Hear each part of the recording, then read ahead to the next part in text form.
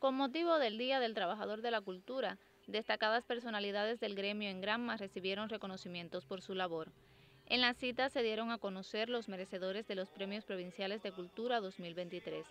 La distinción le fue otorgada en esta oportunidad al doctor en Ciencias Máximo Gómez Castells, en Investigación, a Elizabeth Elliot en Patrimonio y a Carlos Baltasar Casasayas en Música. En la categoría de radio lo mereció el periodista Ernesto Parra Muñoz, en televisión el camarógrafo Junior Rosales, en literatura Evangelina Núñez y en enseñanza artística Miriam Pompa. El premio en cultura comunitaria fue para Vocecitas de Oro. En la categoría de instructor de arte lo recibió Hugo Morales Ocarraz, mientras que Alcides García Carrazana mereció el de cine, a Disnubia Martí el de artes escénicas y a Marilis Suárez López el de biblioteca. Es un alto honor en primer lugar.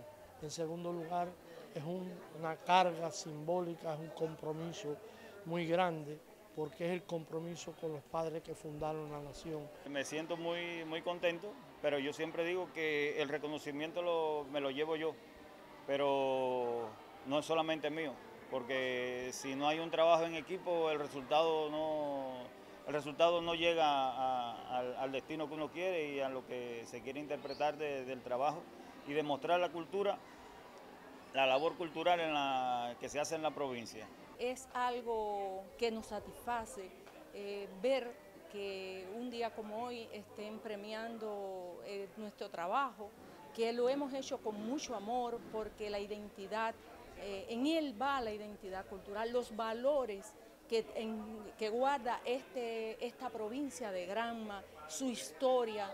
Los reconocidos con la distinción Víctor Montero resultaron el actor y dramaturgo Norberto Reyes, la filóloga y museóloga Antonia Buitrago y el músico y compositor Orlando Quesada Arevalo, conocido como Guapachá. Significa mucho afecto, porque es el maestro con el que convivimos, que nos admiró, que con sus críticas oportunas nos enseñaron a encontrar mejores caminos y soluciones.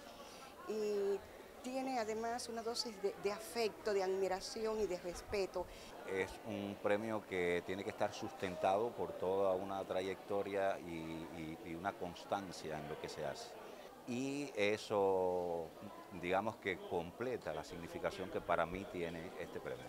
También de manera post-mortem recibió la distinción el periodista José Fernández Vega, fundador del periódico La de Majagua con la presencia de autoridades políticas, gubernamentales y del sector de la cultura en Granma, se llevó a cabo la premiación.